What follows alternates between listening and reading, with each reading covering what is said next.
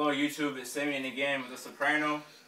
Today I want to play a classic song by Brian McKnight called Anytime.